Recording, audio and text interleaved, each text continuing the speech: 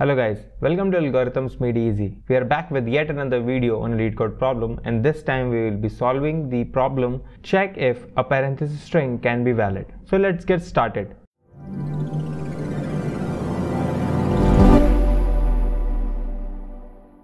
In this particular problem, we are given a parenthesis string which is a non-empty string consisting of open and closed brackets and we need to return valid if any of the following condition is true.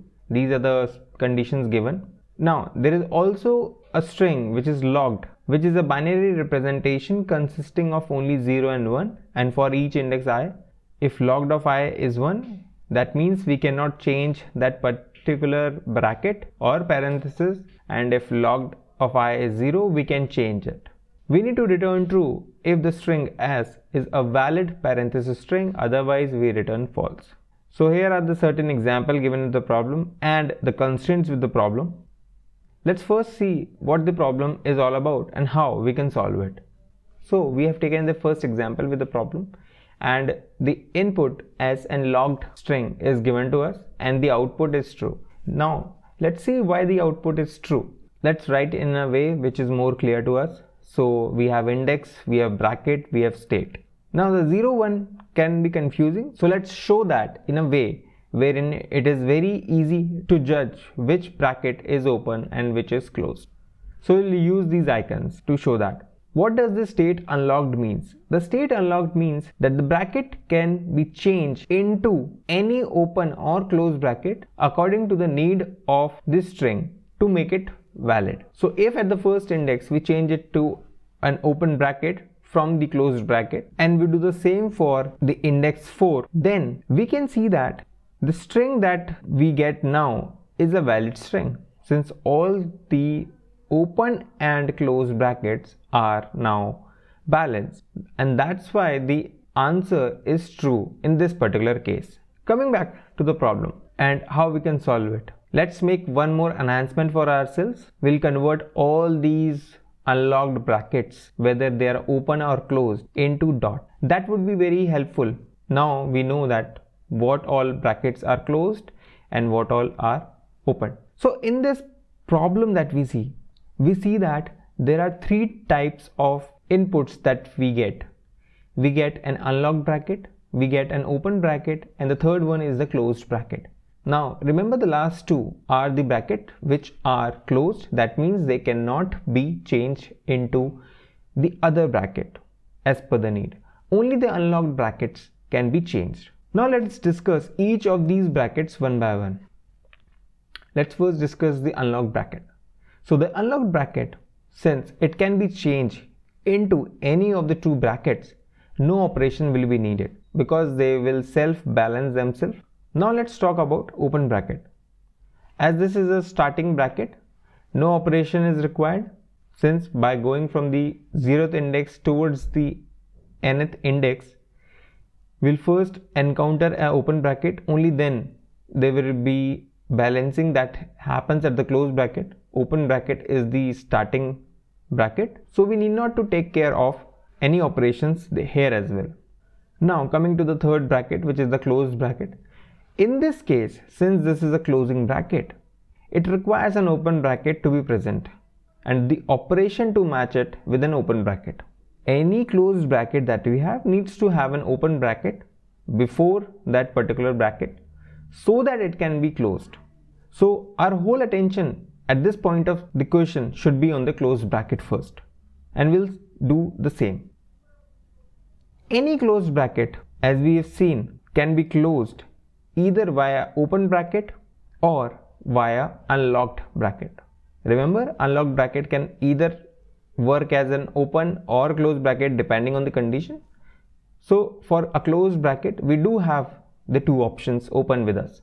Now what would be the case if we find that there are no open bracket or unlocked bracket present for this closed bracket. Suppose if we had this at the zeroth index there won't be any open or unlocked bracket at the index before it since it is the first index or the zeroth index. What would you say about that string? In that case, we know that we have to return false since the closed bracket cannot be balanced with either open or unlocked bracket that means the string is not a valid string.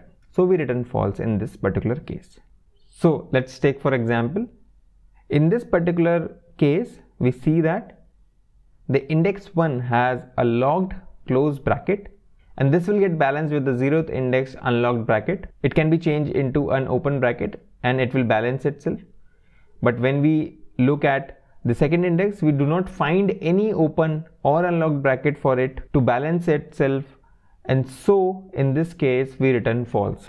So let's turn our attention on what we have learned so far. We learned that for each character in the string, we have to segregate them based on unlocked, open and closed bracket. Now, for each case, what operations are we doing? If it is an unlocked bracket, we are just recording the index. In case of open bracket, we are recording the index. And in case of closed bracket, we are performing the operation. The operation being if the open bracket exists, we use if the unlocked bracket exists, we use and lastly we return false. We are recording the index over here for the two cases because we need to use them in case of closed bracket. Now the question arises which one to give the priority for in case of open and unlocked bracket. Remember, unlocked being a wildcard which means it can be changed into either open or unlocked is more beneficial than an open bracket which is locked. So we want to get rid of these open bracket as soon as possible. And that's why giving priority to an open bracket which is locked is higher than giving or using this unlocked brackets. So this part of close bracket is pretty much done. But we are left with some of the cases of recording the indexes of open and unlocked brackets. The closed brackets, if all gets balanced, will leave us with certain cases wherein we have unlocked and open brackets and now we are not sure whether the string is valid or not since there are some open brackets and some unlocked brackets available to us. Now there will be three cases wherein we have the data in the record for unlocked and open bracket and we'll discuss those three cases now. The first case would be wherein both unlocked and open bracket would have data in them. The second case where only the unlocked will have data and the third case where only the open bracket has the data in itself. Forget about how we are storing this data for now. We'll discuss that also in the later part of this video. So in this particular case, the case 3, we see that the open remains but there is nothing in the unlocked for us to match it with. And pretty evidently we can say that in this particular case, since the closed are now settled, only open has remained. That means there is no bracket for this open to get validated with. So we return false. Coming to case 2 wherein values only remain in unlocked one and no locked open bracket remains. We know that unlocked can behave both as locked and unlocked on its own. This means these unlocks will make a valid string and so we return true now coming to the most interesting case of open and unlocked. So let's remove the other two cases. In these two cases, there can be two scenarios. The first scenario wherein the unlocked character is before the open bracket and second wherein the unlocked character is after the open bracket. Let's see that with an example as well. So the first one wherein the unlocked is before the open bracket, it will look like this and the second will look like this. Now let's apply our common sense and see that in the first case if you'll see even if we change this unlocked character to closed it won't change or validate this particular string and so will return false in this particular case. But in this case the unlocked character can be converted into a closed character or bracket and so will return true. Now let's come back to what we have learned so far. We had these many operations till now. Now the operation that comes after this will relate to what values that remains in open and unlocked. So for each open bracket, we need to verify if an unlocked record exists which is after the open bracket index. Else, we simply return false. at the end we just need to verify whether the open bracket count is 0 or not which we have seen. This is the case 2 that we are talking about. If it is 0 we return true. If it is not we return false. The case 2 and case 3 covers this line. Case 1 covers this particular line wherein we are matching every open character or bracket with an unlocked record. The only condition being the unlocked record should be after the open bracket. Now coming to the part wherein we decide which data structure to use. So recording the index is a very important task in this particular problem. The certain requirements with this particular record, we need to list them down. So the requirements are it should be of unlimited size since we don't know how many character will be put into each of these records. There should be an optimized retrieval since we are doing the retrieval over here to check whether a data exists or not. And lastly, optimized removal. So in this case, once we use this particular open or unlocked bracket, we need to remove that. And similarly over here as well in this line, there are multiple data structures which we can use. We can use an array list, we can use a linked list, but using those requires add-on logic which we don't want over here. We're looking for a solution which out of the box provides all this functionality which we require. And the one data structure that comes to my mind at this point is stack. It has a unlimited size. The retrieval and the removal is easy. It's push and pop and peek as well. So it looks like a great choice for this particular problem. Now with this understanding of the problem, if you are able to solve it or if you are able to get a fair idea about how to solve this particular problem, then congratulations, you did a great job. But if you still feel like you need a dry run of this particular approach, then let me show you how. So we'll take a example. This is a custom example so that it covers all the cases that we have discussed so far. We know that we are using two stacks, one for open and other for unlocked. Locked brackets need nothing from our end to store since we are actively choosing to balance these on the go.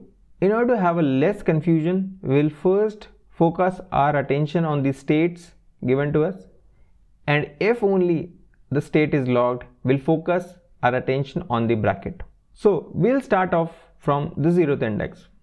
In this particular case, since it is unlocked, we put that index into the unlocked bucket. And so it goes. We move on to the index 1. Since this is a locked, we look at the bracket. It is a closed bracket. Time to get the matching that we discussed. So we have to match it either with open or unlocked. Open does not exist. We jump to unlocked there exists a data and we take out the first data that we have in the unlocked and match it with the closed bracket.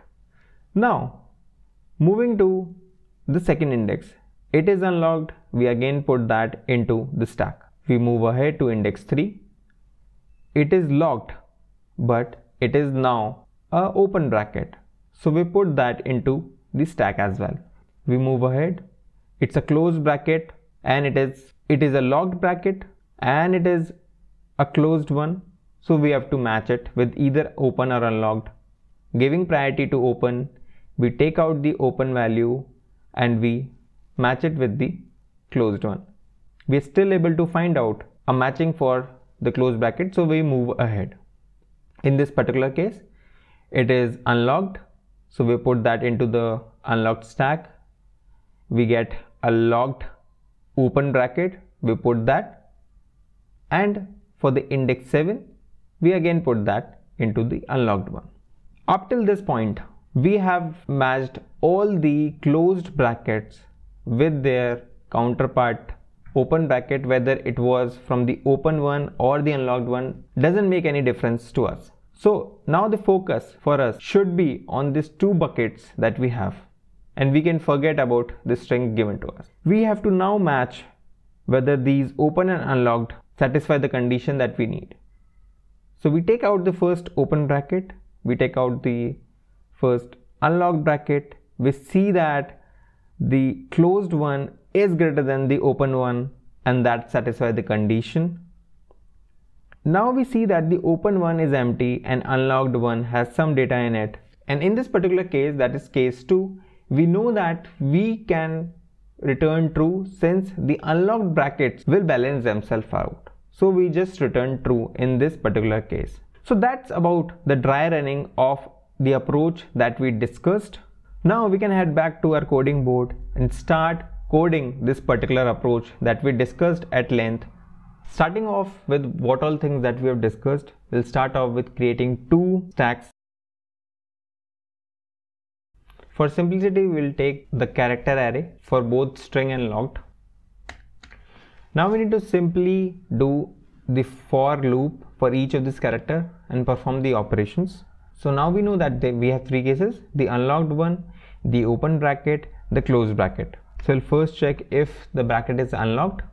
If that is the case, we simply put that into the stack. Now we are sure that the whatever character that we are getting, it is a locked character. So if the character that we get now is an open bracket, we put that into the open stack. And lastly, anything that remains will be a locked close bracket. Over here, we need to check if the open stack size is greater than 0 then we pop the value also if unlocked size is greater than 0 we pop that too and if both are not available then we simply return false. So this completes the for loop that we have. Now we discuss that we need to take care of the recorded indexes both in unlocked and open. So we loop through these stacks. Now at the end we simply need to check whether the size of the open stack is 0 or not. This is to verify whether we have matched every open character which is locked with a closed character. Unlocked one size doesn't make any sense to us. It will balance itself out. Now there is one more issue with this code. We haven't put in place to check whether the length of the string is even or not. Since a valid string will only be an even string an odd string cannot be a valid string. So we put that into place. We check if s dot length is even or not. If it is not we simply return false. Now let's run this code. So it ran successfully for the sample test cases. Let's submit this. So it got submitted successfully. The time complexity for this particular approach is of n since we are iterating over this string and the space complexity in this case is also of n since there can be a string with all the locked open brackets and we are using stack to store the index of those open brackets which are locked. And same thing can happen with the unlocked as well. There is another approach with this particular problem. In that approach we are not using any stack and it's a constant space solution still within O of n time complexity. Do comment below if you want a video on that as well that's all for today's video. Do not forget to like, share and subscribe to the channel and to follow us on all the social media platforms, link of which is in the description below. Thanks for watching this video. See you in the next one.